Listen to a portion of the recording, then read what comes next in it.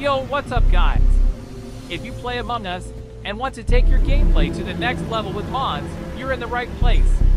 In this video, I'm going to show you how to install custom servers for Among Us for better experience in playing awesome mods, like Town of Host, and other Among Us mods. These custom servers can be installed whether you're on Windows, iOS, or Android. Let's get started.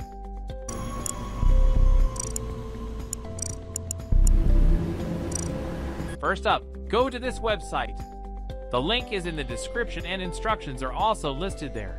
But if you want visual instructions, continue watching this video. There are three methods to install custom servers in Windows.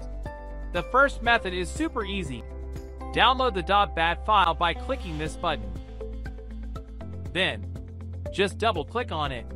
Your antivirus might try to prevent it since it's an unrecognized app.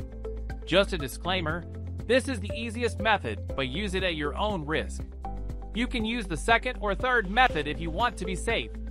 After that, the custom servers will be added to your game. You only need to do this once.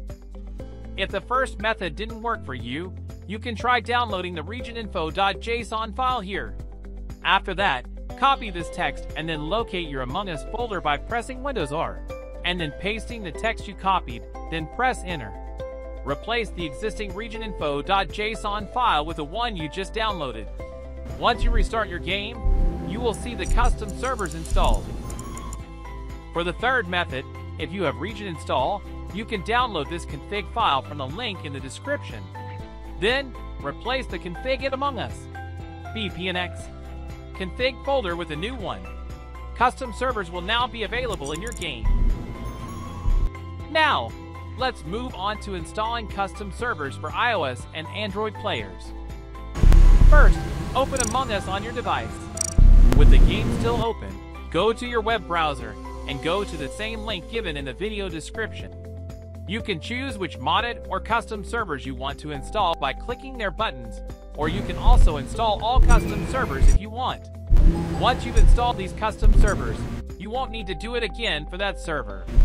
Now you can enjoy joint custom servers to play Among Us mods on both Windows or mobile devices. If you find this video helpful, please like and subscribe to support my channel. And if you have any more questions, you can ask me in the comments.